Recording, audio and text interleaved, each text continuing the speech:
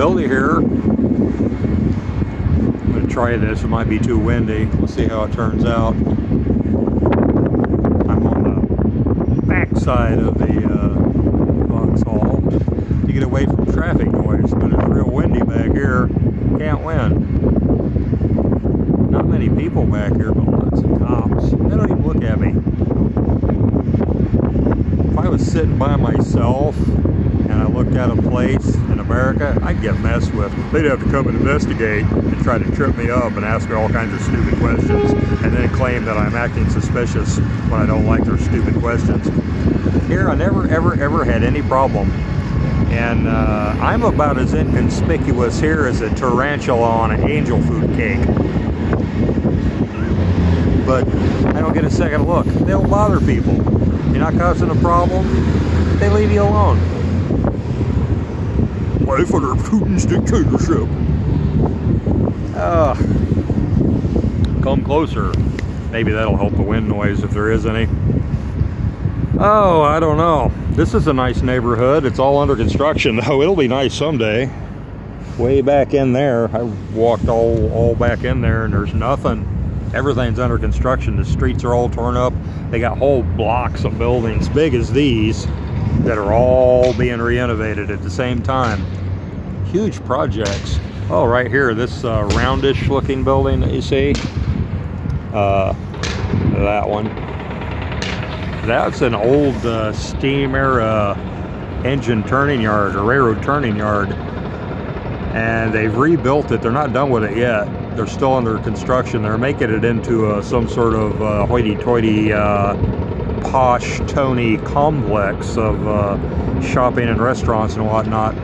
They've already done that to another one over near the center of town uh, that I've been to that's finished. It's opulent. It's absolutely magnificent. The apparatus treated uh, a bunch of us to uh, dinner there at a nice restaurant. Uh, called the Garage or something like that. It's a railroad garage. It's what they're doing here. They're rebuilding this one back behind uh, Kazanskia uh, vokzal. They're rebuilding the whole freaking neighborhood. They're really into infrastructure here. How's your infrastructure doing in America? Are they fixing things? I hope you're all right. Just an interesting little tidbit.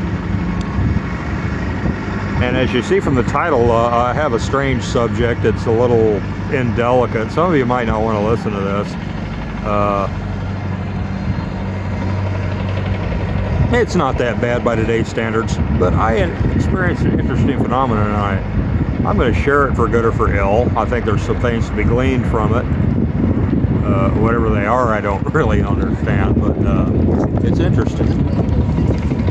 The lighting's screwing with me now. Oh, now people are coming out of woodwork. This there, this place is totally empty when I started, and now it's filling up. Anyway, as some of you have been following me know, I've been trying to make it to Uzbekistan so I could access my money. I don't know if I'm going to. They, I can't get a visa, and not because it's not available. It's because uh, the quick and easy, cheap one is uh, online e-visa, and the system doesn't work. It just wastes your time. I get to the end of it, and the last part of it, it just goes haywire, and I can't get it. If I went to the embassy, it costs twice as much, and it takes several days.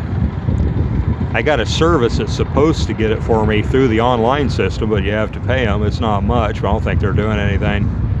It's not critical. I got other places I could go. That was just my first choice. I'll know in the next few days. I also have a scheme where I'm getting some of my money, a little tiny bit, but it'll help. That'll buy me some time. If that works, I'll reassess. If it doesn't work, I got to get out of here fast. And I've got the money to get my COVID test and go somewhere. It's all about the same. It's very much more expensive than Uzbekistan. That's taking a big haircut, and I have to spend such a large amount of money to get access to my bank. But you got to do what you got to do. It's life during wartime, baby. So uh, that's that. I've been to Uzbekistan before. It's an interesting place. This is 17 or 18 years ago I was there. I was in Tashkent and rolling into Afghanistan back in the day, we would go, we'd fly from Tashkent to uh, uh, the town across the border from Kanabad, Karsi. We'd fly to Karsi, they a little airport there, and all the older guys and the guys coming out says, wait till you see this. You can't, you're not going to believe it. I'm not even going to tell you because you won't believe it. That's what they told us. So, well, we'll see. The airplane you fly on, everything. They called her Old Smoky. And uh, we were waiting on the airplane and there it is up in the sky. It's coming. Everybody's anticipating, especially guys that have been in and out regularly. Oh, wait till you see this. This is great. And uh, way off in the distance, you see this trail of black smoke coming toward you and then you can make out a pretty large plane. I think it was a Tupolev. It was a Tupolev. Uh, rough takeoff and landing. I don't remember the designation. I'll have to look it up. I forgot. I think it was a 124. But it had the big giant tires and two engines, turboprop. I think it's like a 20 or 30 passenger plane. It comes in and that one engine, the one on the right from the pilot's, pilot's perspective, was smoking black smoke. It's just rolling out of it. And he shut it off. The smoke stopped and the prop stopped. And then he came in on one prop. He landed, pulled up. People got out. We went to it to get in. Mechanics came running up to it and set up step ladders and scattered tools all over the wing and started working on the right engine. And buckets of oil, black used oil is pouring on the ground. I noticed they had among their tools, uh, like there was a claw hammer there. One of them's got a claw hammer laying on on the on the uh, wing. They were Uzbek mechanics. I'm sure they're very competent and knew what they were doing. They're making it, preparing it to make another sortie apparently. And uh, as we got on, I noticed these huge off-road balloon tires were uh, worn down to the cords. I didn't count them, but there's at least three or four layers of cords that you can see. You know how they incrementally get smaller the way they wear. Got on it, and I sat on the right, and looked out the window and watched the mechanics, and they were arguing, real passionate arguments about something, and they're waving tools at each other. It doesn't inspire a lot of confidence, but uh, hey, you know, you see stuff like that, other people have been doing it, didn't bother them any, they're still around you buy the ticket and take the ride. I'm not getting paid all this money to, uh, you know, live in a safe little cubicle and uh, believe in fantasies. Uh, you see stuff like that, I, I, get to me it was just confirmation I'm living the dream. All right. They finally stopped arguing and put the covers back on and we took off. Smoke starts rolling out of that engine again and uh, we flew to uh, Can uh. And we got there and that airport was amazing. Uh, the Soviet Union had collapsed in uh, like the late 80s, early 90s, around 1990 or so. I think there was probably maintenance problems before that happened. And the powers that be, the people that had control and, uh, and uh, were entrusted with the airport, apparently were building nice houses and dachas and they needed the tiles from the floor and uh, a lot of the other infrastructure, and it all been ripped out. The place is uh, a shell, uh, dirt floor. I thought it just hadn't been cleaned in a long time. Then I noticed there's the tiles. They used to have tiles. You could see they used to be in there, and they just pulled them out. And then they didn't bother to sweep it or anything. People track in snow and mud, and then it dries, and it just stays there. Uh, it was impressive. Well, then we got on a bus and went out to the base and were stuck there for several days. I think I was stuck there for over like 10 days once. Had been stuck in uh, Tashkent for several days as well, but that was in a five-star hotel. There's a contrast, you know. I mean, it really was at least a four-star hotel. It was opulent. It was beautiful. The service is a, there's a, hi, Mr. Pigeon. I don't have anything to give you. I probably wouldn't give you anyway. Flying rats, flying rats. Anyway, this hotel, I've been in five-star restaurants before in Houston. I made a lot of money. I dated. I would go to the Colombe d'Or or some of the other places. I'd put on my nice clothes and go to those places and enjoy it. I know what the service is like. The waiters are like wraiths. They're like ghosts. You don't even know they're there. If you drop a crumb, suddenly this little silver flash happens and a little silver card comes around and swiftly uh, scoops it off the table. You know, your water is automatically refilled with water and ice and you don't even see it. You know, you just look down and it's full again. That's the way they were at Tashkent absolutely fantastic. Every detail of the service, every detail of the place was opulent. And then you go to Kanabad to the, or uh, to the airport. uh, stark contrast, anyway. Uh, you're living the dream. Anyhow, I'm in and out of there. I ended up going back to Karsi Airport in winter. It's very cold, snow's on the ground. And uh,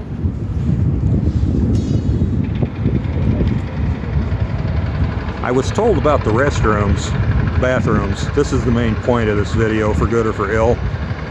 Soviet infrastructure, be it vokzals, airports, bus stations, metro, where you find a public restroom, and they're kind of rare, when you do find one, it's generally underground. You go downstairs, and it's not just one floor down either. Some of them, you just go down and down and down and down into deep sub-basement. Why they did that, I don't know. I suppose maybe they're supposed to serve as uh, bunkers for when uh, Uncle Sugar tries to nuke them. Maybe that was it, but they're way down there, and they were way down there in uh, Karsi.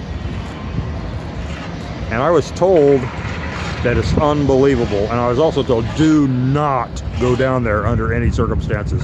Do anything to avoid it. Well, then they tell you that and they dump you off at the airport and you're there for 12 or 14 hours waiting on a plane that never comes. And Then you go back to the base. So guess what happened? I had to go number one, whatever that is.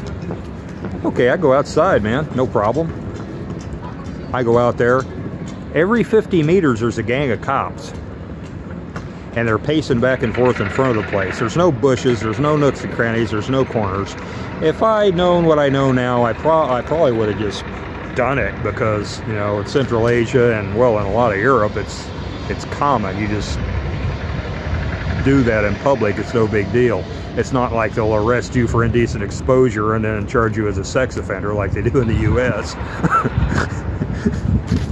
nah, public uh, public urination is not that big a deal. But I wasn't going to do it because those, those guys were, they were always looking for some reason to mess with you. And uh, so I chose to, ah, how bad can it be? I'm going to go down to the public restroom, right? How bad can it be? I'm glad I did because, I don't know, like I said, this contrast from five star to uh, indescribably dysfunctional uh, infrastructure. Oh, why not intensify it? Might learn something, right? I try to make a philosophical argument for things I do, both before and after. I went back in, I found the restroom, it had a sign on it. The staircase, of course, going down. I'm going down the stairs, going down the stairs, going down, down, down, down, way down. It was probably one of the longest, deepest ones I've ever seen, and I've seen a few of them around here.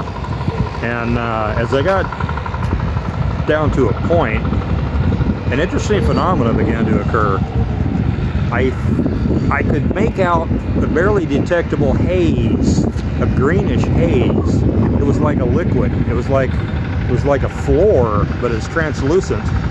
Well, it was, it was beyond translucent. It's just barely visible, but it was visible. It was distinctly visible. A green haze level uh, at the last flight of stairs. And when I stepped into it, when I stepped into it, it was warm there's definitely a thermal layer that was starkly contrasted to what I was going down into. The place wasn't heated. The, the, the, the, the, airport was, there was no heat because somebody stole all the heaters and the pipes and everything. Uh, it was like 20 degrees out. It's cold, it's freaking cold. But when I went down those stairs, when I stepped into the green haze, instantly it was like stepping into a warm bath. It was that different. And as I slowly walked down into it and it rose up, it was warm. It wasn't just warmer. It was freaking warm. And I got up to about here and I took a real deep breath. I closed my eyes and I went down into it. I got down to the bottom. I didn't step off on the floor. And it was like a typical Soviet era restroom. It was like a gymnasium with rows and rows of squat toilets up on platforms with like little hallways in between them. No dividers. Communal thing. And uh, I wasn't going in because you couldn't see the squat toilets. I know it's supposed to be there, but you couldn't see any of it because it was under basically, uh, you're, you're seeing a field have been windrowed. This is windrows, windrows, but it, it was windrows of feces, about 20 inches deep, about three and a half, four feet wide, slumped, covering each row of squat toilets. And the hallways between them between the elevated platforms was about six inches deep in a yellowish, brownish, blackish, brackish uh, liquid, which I assume was partially the runoff moisture from the feces and partially urine from people pissing in the place. Apparently those pumps hadn't worked in 20 years and people just continued to go down there and fill it. It was just about full there wasn't really any place to go if you had to go number two, which I fortunately didn't.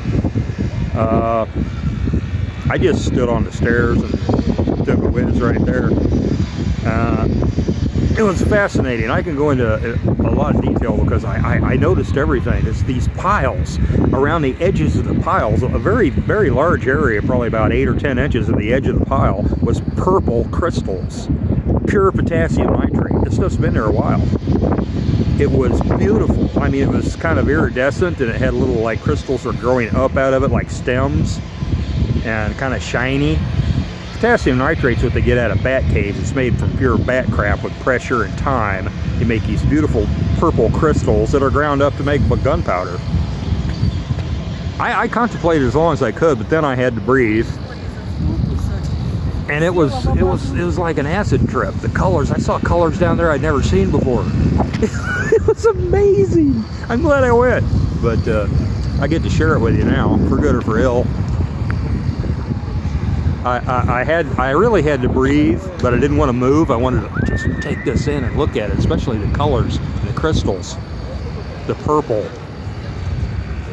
It wasn't just purple either it was like this uh, unnatural acid color. I, I don't know, it's, it's hard to describe. I, I know about that stuff just a little bit, enough to know that there's colors that don't exist in nature that you can see. And they were there. They were in that restroom, in that in that water closet, in that public facility. I pulled my shirt up over my nose and tried to take a breath and it kind of hurt. so I ran out of there. I, as I ran up, it got cold. I emerged into the cold. It just went right down and I felt like I was dripping with something. I didn't see any visible, I didn't see any sort of uh, accumulation or moisture or uh, oil on me. Uh, I wanted to take a shower really bad, but where am I going to do that at? Maybe they got a shower there at the airport, right? But anyway, that's just something that happened for your contemplation. I hope you found it amusing. I hope you weren't offended by it, but if you are, I told you before I started, you might not want to listen to this. You probably find a metaphor for that somewhere and what's happening to the world today. Oh, I really wanted to go back. Uh, not just to get my money, but to look around and see what's changed in 17 years. I hope they give me that visa. but we'll see. Also, Kanabad is not very, oh, excuse me. I keep saying Kanabad, that's in Afghanistan. Across the border is Karsi. Karsi is not far from Samarkand. I always wanted to go there. It's, uh, I think, the model for Xanadu. And Kublai Khan did, in Xanadu did Kublai Khan a stately pleasure dome decree where Alph the sacred river, ran through caverns measureless to man down to a sunless sea. That's that's apt at the end of this description of what I saw public restroom. anyway, I mean, you would have had to been there, I guess. I'd like to go to Samarkand. If I don't get the visa, I'm on plan B. But uh, anyway, hope you enjoyed that. Got something out of it, for good or for ill. Please uh, give me your comments. And I'll, I'll try to get something a little, uh, a, a little more, uh, I don't know, universal next time. But I just wanted to tell that story because I've never told it to anyone before. Uncle Buildy, signing out. Oh, I almost forgot to mention. When we landed on Old Smoky in Karsi, there's a crashed airplane by the side of the runway. They just kind of pushed it off and left it there. you see all kinds of things that inspire confidence. And what's really funny was I got back to Tashkent after like my four month tour or whatever, my four month contract, or my four month between vacations that I had to take. When I went back to Tashkent, I bumped into a guy at the hotel bar who was uh, the poor guy. He just was exasperated, and he seemed like he was he was uh, he'd been through hell. And I asked him what he what he's up to, what he's doing. He's he, from like I told from the way he's talking, he's flying around all these airports in Central Asia, and he said he was an airport inspector. the uh, I don't know who the the your EU the, or NATO or the NGO, somebody was sending this poor guy around to inspect these airports like they had at at uh, at Karsi, and he seemed like he he's a pretty gloomy and frustrated guy, and he's on his way to Karsi right then. And uh, I didn't say nothing. I just said, uh, you know, well, you're going to be impressed, bud. You're going to be impressed. I want to see what it looks like now. Maybe I'll get to go. Maybe not this time, maybe some other time in the future. Like killing several birds with one stone though. It's getting hard to do. Okay, I'm really signing out now. Uncle Buildy signing out for real. Take care and God bless.